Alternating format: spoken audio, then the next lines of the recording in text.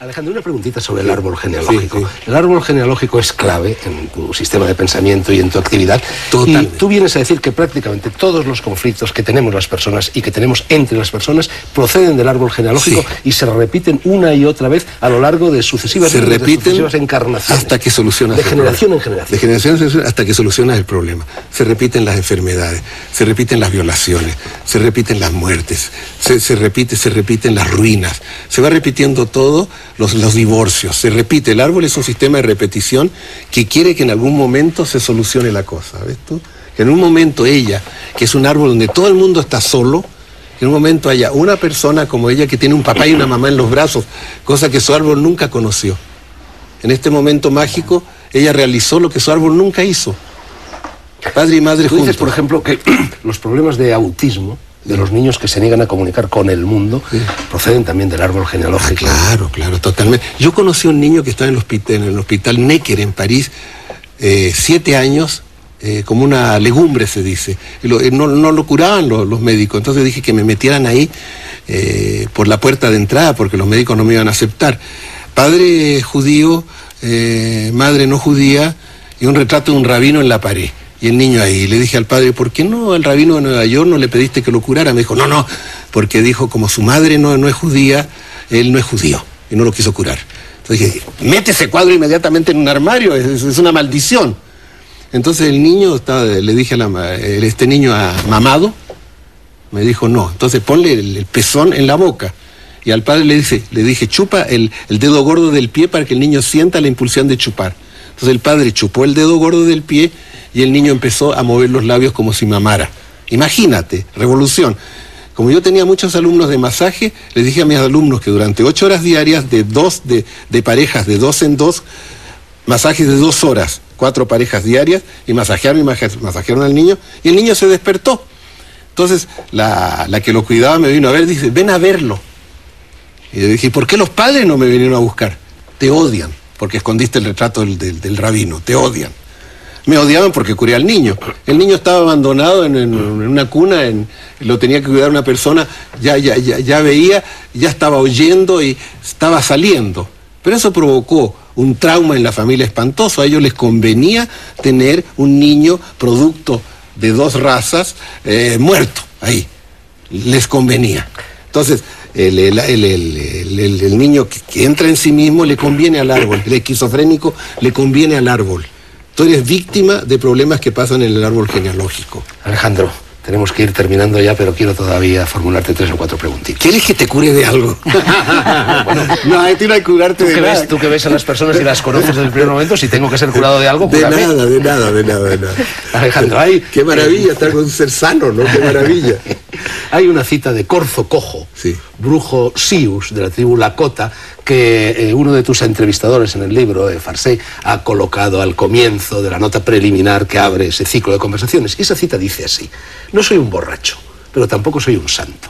Un hechicero no debería ser un santo debería poder descender tan bajo como un piojo y elevarse tan alto como un águila. Debe ser Dios y diablo a la vez. Ser un buen hechicero significa estar en medio de la tormenta y no guarecerse. Quiere decir experimentar la vida en todas sus fases. Quiere decir hacer el loco de vez en cuando. Eso también es sagrado. ¿Ese eres tú?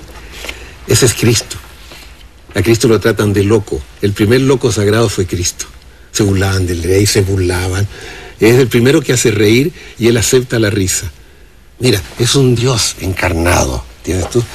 Y viene un tipo como Mel Gibson y hace un Dios material, lacerado por todo el cuerpo, un pedazo de carne. Eso no es Cristo. Cristo tiene un Dios interior que conoce la muerte, que ha hecho resucitar gente, ¿entiendes tú? Entonces tiene otra cosa divina dentro de él. Entonces, esta descripción es de un loco que cura. Ahora, yo imito eso, sí. Lo imito porque tú llegas a la santidad por la imitación. No eres santo, pero lo puedes imitar. Página 290 de tu libro de psicomagia. En Nueva York, cuando estaba montando mi película, la suya, La montaña sagrada, tuve problemas de todo tipo y empapaba con mi sudor seis o siete camisetas cada noche.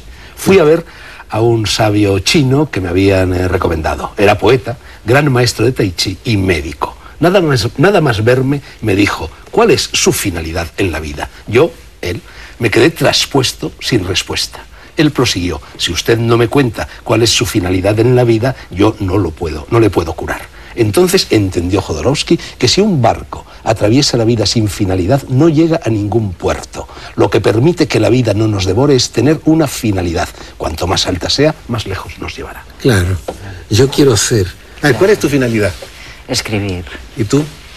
Curar y escribir, transmitir lo que llevo dentro. Ya.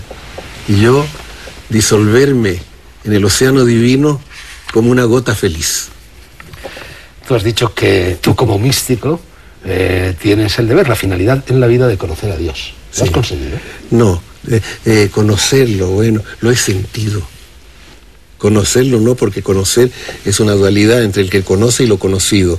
No se puede conocer a Dios, se le puede vivir, se le puede sentir. Si tú se separas y eres tú el que conoce, entonces eres tú el yo se debe disolver, la gota divina que se disuelve en el océano divino, que para mí es un orgasmo que dura una eternidad. El ejercicio más rotundo de tu vida, detener el pensamiento.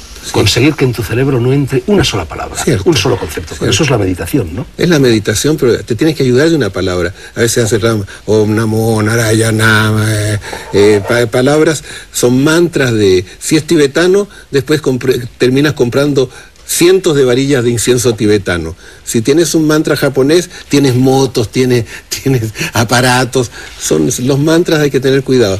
Yo me busqué un mantra muy simple. Coca-Cola me busqué. Yo, pues, yo me, venía a meditar y decía Coca-Cola, Coca-Cola, Coca-Cola. todo lo que había. Y es tan sagrado decir Coca-Cola como decir yo no sé qué, el nombre de un futbolista o, de, una, de una estrella. Elvis Presley, Elvis Presley, Elvis Presley. y solo te entra en la mente una palabra y todas las demás se borran y después ya sueltas. Es como la, la, cosa de salvación, como se llama, la boya o el, anillo de el salvavidas. Estás en el océano, no conoces la extensión del océano y tienes un salvavidas. Y, te ayuda. Y después cuando ya sientes la extensión del océano, sueltas el salvavidas y das tu paso en el vacío, ¿no? Te aceptas sin límites. Comencé entonces, con gran prudencia en mis lecturas de tarot, cuando el consultante se preguntaba cómo solucionar un problema, a recetar actos de lo que llamé psicomagia. ¿Por qué no magia? Para que su primitiva terapia funcione, el curandero, apoyándose en el espíritu supersticioso del paciente, debe mantener un misterio, presentarse como propietario de poderes extrahumanos obtenidos por una secreta iniciación contando para curar con aliados divinos e infernales. Los remedios que da deben ingerirse sin conocer su composición y los actos recomendados deben realizarse sin tratar de saber el porqué. En la psicomagia, en lugar de una creencia supersticiosa, se necesita la comprensión del consultante. Él debe saber el porqué de cada una de sus acciones. El psicomago, de curandero, pasa a ser consejero gracias a sus recetas, el paciente se convierte en su propio sanador. Esta terapia, dice Jodorowsky, no me llegó como una iluminación súbita, sino que se perfeccionó paso a paso en el transcurso de muchos años. De muchos años y de los que todavía les quedan, me quedan y le quedan por delante al psicomago chileno y unas cuantas cosas más, Alejandro Jodorowsky autor del libro que ha dado pie y espíritu a esta enésima entrega de negro sobre blanco. Ya saben ustedes que ese libro, magnífico, sorprendente, vigoroso, luminoso y estimulante, se titula Psicomagia y ha sido publicado, como casi todas las obras de Jodorowsky en España, con el sello de Silueta. Dame la mano, Alejandro. Yo voy a escribir, yo voy a escribir sobre ella gracias. Eso siempre hago en el tarot, ¿no? Exactamente, precisamente por eso lo hago.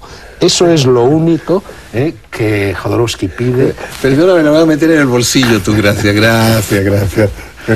Decía que eso es lo único que Jodorowsky pide en pago de sus servicios de tarot y de psicomagia a las personas que desde distintos puntos del orbe acuden todos los miércoles a la consulta abierta por él en una cervecería cercana a la casa en la que vive, en París. Gracias también a Asunta Roura, a Laura, seudónimo, y gracias a todos ustedes. Termina este lance psicomágico, efímero, pánico, terapéutico de negro sobre blanco. Volveremos, nada está escrito, pero yo creo que sí, sospecho que será la próxima semana.